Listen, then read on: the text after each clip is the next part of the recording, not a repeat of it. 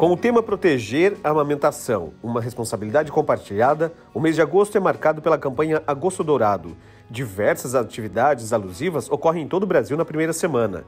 Existem duas leis sobre o tema, federal e catarinense. A ideia da lei estadual que institui o período é promover diversas ações de conscientização da importância do leite na primeira fase de vida dos bebês. Entre as defesas estão os benefícios que o leite materno traz para o futuro das crianças, seja na saúde, qualidade de vida e até aprendizado. Também é de difundir a importância do aleitamento materno até os seis meses de vida e a manutenção até os dois anos com inserção de outras dietas. A legislação que define o mês para as ações é de autoria da deputada Dirce Heiderscheid. É fundamental que a gente entenda que essa não é uma campanha apenas só para as mulheres, é uma causa para toda a sociedade.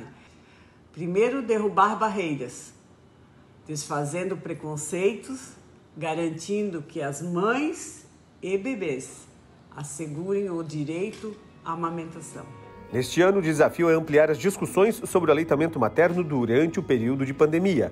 A proposta é esclarecer sobre os riscos de contaminação por Covid-19 durante o aleitamento. Se ela estiver amamentando, o bebê já vai ficar protegido, né? Então, assim, ó, se ela pegar o Covid, ela não deixa a amamentação, porque se ela continuar amamentando, esses bebês já foram testados e eles ficam protegidos com anticorpos, como se tivessem a doença por causa dos anticorpos passados pelo leite materno.